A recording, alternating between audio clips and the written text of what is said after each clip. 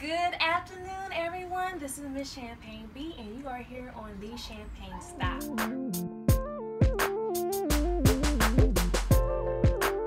And you're watching the Champagne Spot, where we talk about wine, wine tasting, spirits, drinks, and you know, just get lit. That's what we're going to do today.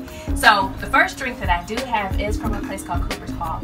I do have a membership there, so I'm not getting paid or anything, but I really like their wine, so we're to start off with them and um, kind of taste all of theirs through the season.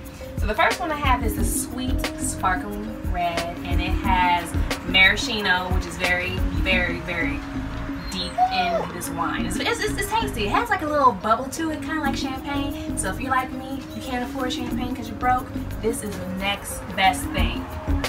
Okay, I kind of took that a little too far, but it's pretty good. It's, it's good. It's very delicious. So as you see right now, my, my wonderful director has helped me out by taking the foil, because I can't do that. But we'll go ahead and we'll crack it open, see what we got here.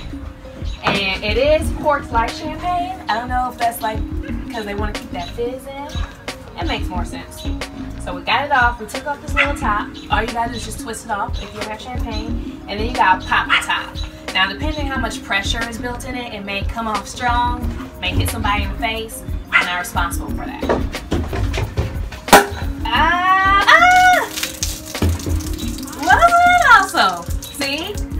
Responsible for that.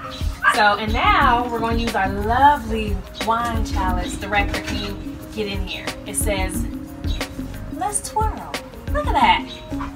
I, I like that. I, I like that. So if you have your nice little wine, you have your girls over, you're talking, pop this out. They're going to love So first, how I do mine is I like to tip it to the side, kind of pour it in a little bit.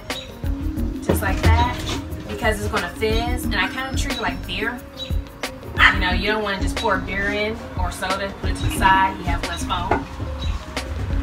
Okay. So you take it up, swirl it a little bit, mix up all of it, mix all the goodness up, and then you sniff. And it has a wonderful smell. I mean, oh, I'm getting high from my own supply. Good. Okay, so now the taste. So you take it, put it in your mouth, swish it a little bit, and then you swallow it. I mean, be, be, don't misunderstand me. I'm going to smash this drink, but just for the record, we're going to taste it.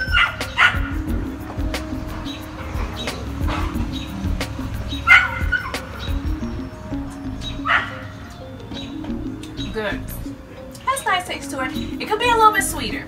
I would like for it to be a little sweeter, but for what it is, it tastes pretty good. So again, this is from Cooper Hawk.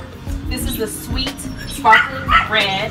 Be careful if you're gonna open it up or you'll have a little spill like that. Let me know what you guys think. Let me know what your favorite wine is. Almost went down. Don't worry. I recovered. It's good. Again, check me out on Facebook, on Twitter, on Instagram at The Champagne Spot. This is again Miss Champagne B. And uh, cheers.